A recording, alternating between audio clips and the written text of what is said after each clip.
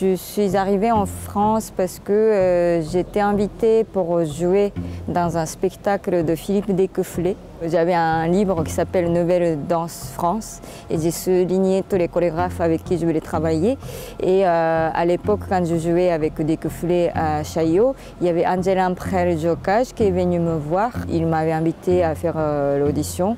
Euh, donc euh, voilà, comme ça que ça, a été euh, enchaîné très vite et je crois que c'était assez naturel pour moi de, rester.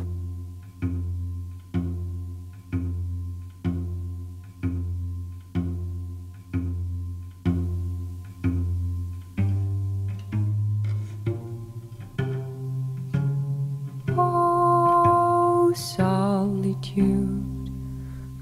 Je suis artiste associée à la Maison de la Culture de Créteil et je suis résidence au 104.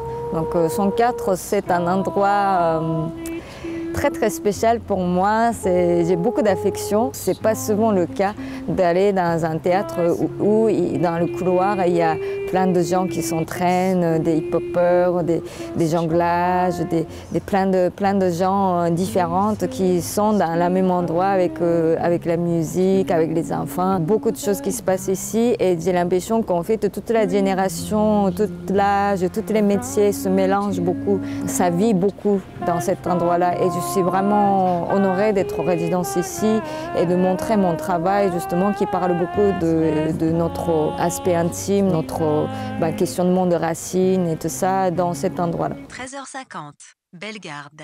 14h, un enfant qui pleure. Ouin, ouin, ouin. Je n'arrive pas à me reposer. Je n'arrive pas à me reposer 17h05. Taxi pour Montparnasse. Il a failli écraser un monsieur à vélo. Je pense que la France m'a beaucoup valorisé en tant qu'artiste avec des prix comme euh, le prix d'ASACD ou en 2015 euh, la, médaille de chevalière, les arts et les lettres.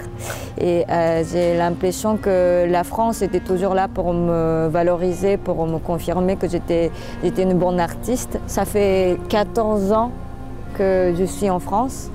Euh, ça m'a mis de temps mais euh, je pourrais dire que le fait de m'éloigner de mon pays et de venir en France, ça m'a donné cette euh, chance de recréer mon identité. Et euh, aujourd'hui, je me sens ni japonaise ni française et je pense que j'ai constitué cette identité qui est hybride et riche.